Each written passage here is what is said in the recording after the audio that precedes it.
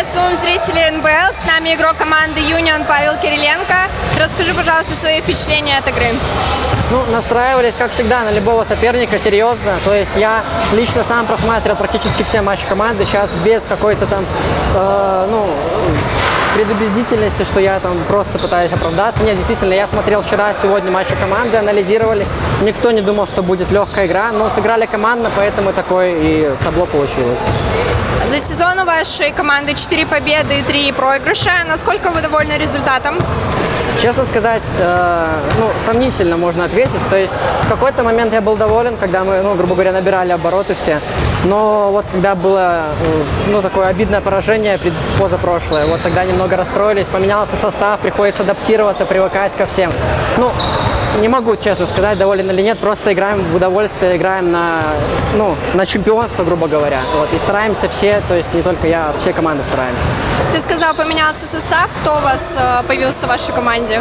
Глеб Гальковский, вот, Леша появился, Новый Петрович. И ушли, то есть легионер наш Кунуван ушел, который давал обойму из-за дуги. Э, ушел у нас Леша, который уехал в Польшу. И вот, ну, то есть не могу сказать, что меняется игра, просто меняются люди, ко всем другая игра подходит. В этом сезоне у вас появился тренер Антон Сакович. Насколько ощущается разница в подготовке к матчу и сама игра вашей команды под руководством тренера? Ну, в любом случае, это меняет кардинально игру, потому что у нас довольно такая возрастная команда, то есть на эмоциях иногда играем. Он дает вот эту вот э, таблетку успокоительную, то есть он не бьет, но он, если расскажет, все понимают, даже те, кто возрастом намного его ну, взрослей. И я, в том числе, он меня остужает вовремя. Ну, совсем другой подход игры, более серьезный. Насколько вы готовы к играм после новогодних праздников всех? Честно сказать, думал, сыграю плохо.